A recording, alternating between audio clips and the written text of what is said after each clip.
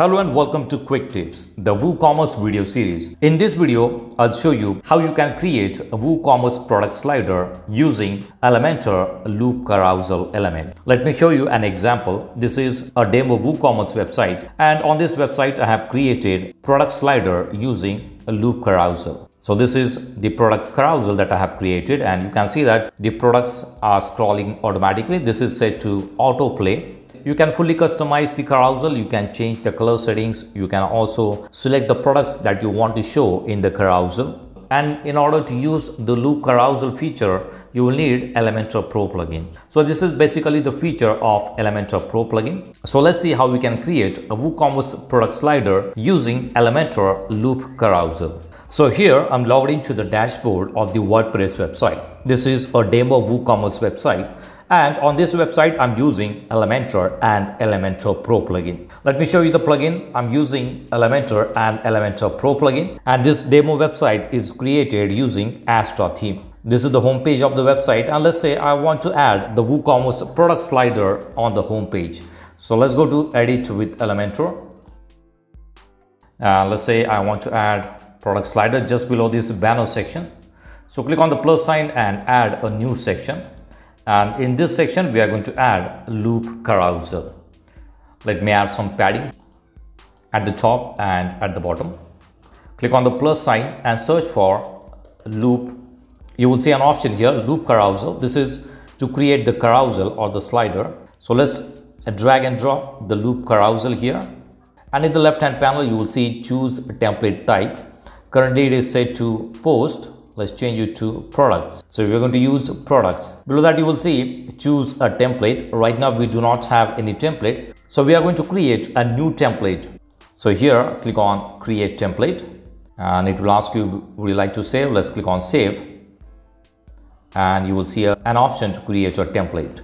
So click on plus sign and select new section here.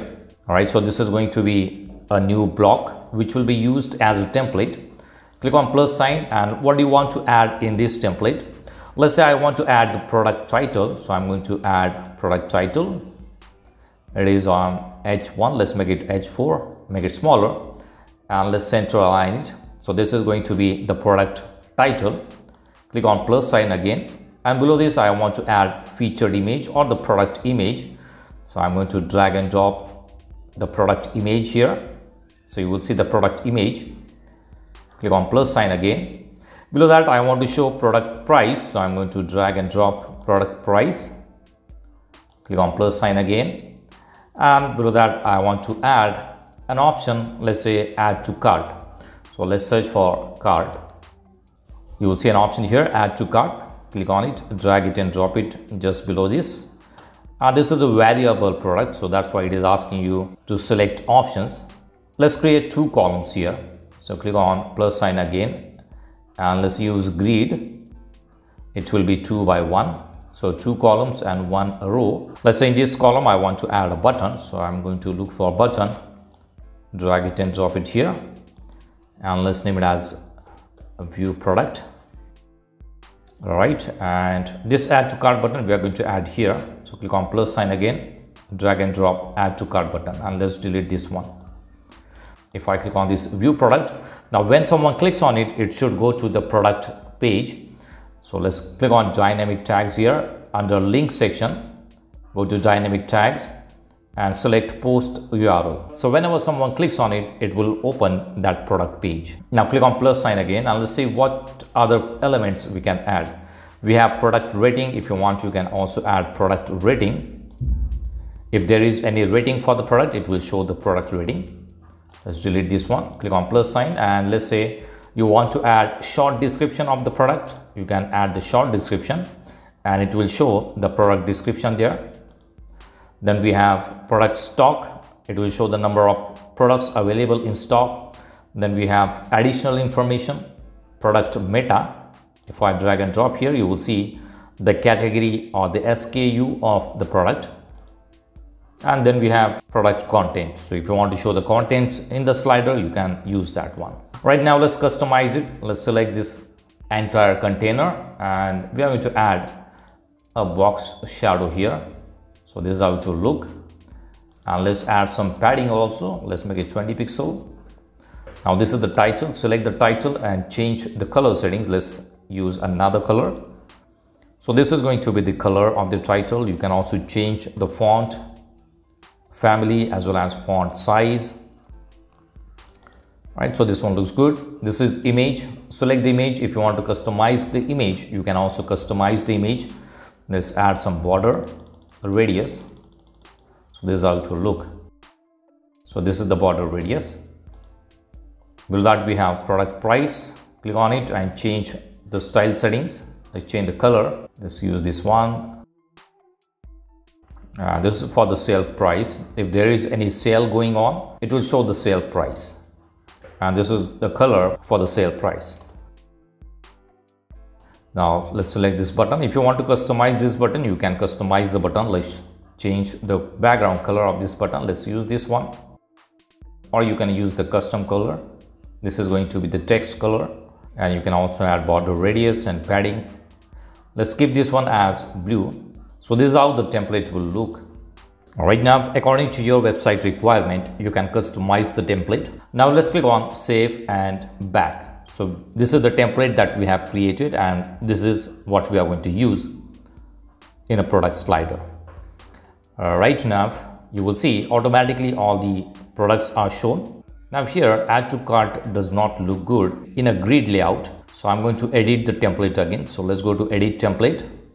We are still customizing the template. Now here I'm going to take this out from the grid and take this one also out of the grid and delete the grid. All right and let's move it below.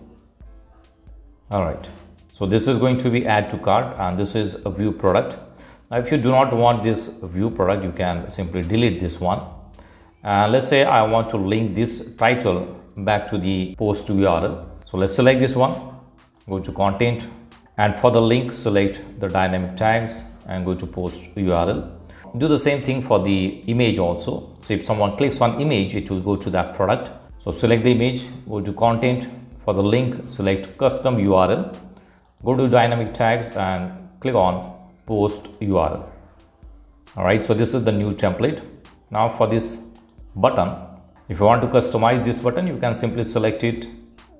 Let's make it justified so it will be full width. All right now let's click on save and back. All right now let's select this entire template and here we are back to layout.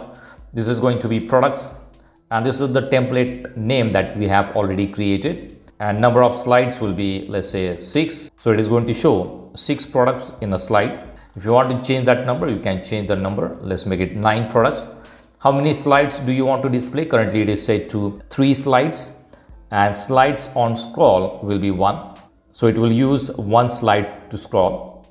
Then we have equal height, it is enabled.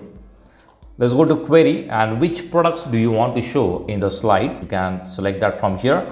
Source is currently set to latest products. So it is going to use all the latest products in the slide. If you want, you can also select the product which are on sale or featured products or you can also select products manually.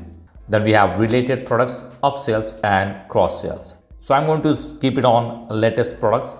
Then we have include by. If you want to show products from a particular category, you can use term. So in the term, I'm going to search for accessories. So it is going to show the products only from this category.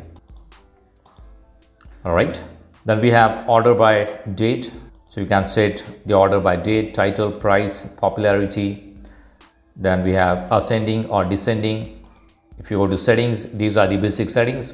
Autoplay, it is going to play the carousel automatically. This is the speed. So after every 5 seconds, it is going to scroll to next image. Pause on hover is enabled. If I move the cursor on it, it is going to pause this carousel. Then pause on interaction. If someone clicks on it, it is going to pause it. Infinite scroll, it is set to yes transition duration is 500 this is the direction left or right and offset slide is both left right then we have navigation arrows is set to yes you will see one arrow here we are going to change the color this is the previous arrow and this is the next arrow Position is also adjustable.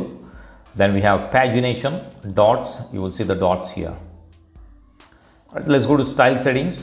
Under layout, you will see the gaps between slide is set to 10 pixel. You can change it to let's say 5 pixel. Navigation, these are the settings for the arrows. So we're going to change the color of the arrow. Let's use this one and you will see the change in the color for the arrow. For the hover, let's use this one. So you will see the change here. You can also change the size like this. Now let's go to pagination. For the pagination also you can change the color. Let's use this one. And you can change the size also. You will see the size here at the bottom. Here you will see two different colors. This is the actual price of the product and this is the sale price. So we have a different color for the sale price right once done you can click on publish let's go to home page and now you will see a product slider here Now in future, if you want to customize this layout, you can go to WordPress dashboard. Under Elementor, you will see template, go to theme builder and then go to loop item. This is the template that we have created. Let's go to edit and from here you can customize the template in future. Let's say I want to make it center align. So I'm going to select it, make it center align. Let's change the size and let's add margin all right let's click on publish if I go back and refresh it you will see the changes this is now center aligned let's remove the border the box shadow publish it and refresh it and you will see the changes here. So if you want to add border, you can also add the border. You can customize the layout according to your requirement. So if you are using Elementor Pro plugin, you can create WooCommerce product slider using the loop carousel feature. So that's it for now. See you in the next video. Do not forget to subscribe to my channel to get more quick tips about online softwares and tools. If you have any questions, please leave us message in comments section and press the like button if you like the video. Thanks for watching Quick Tips.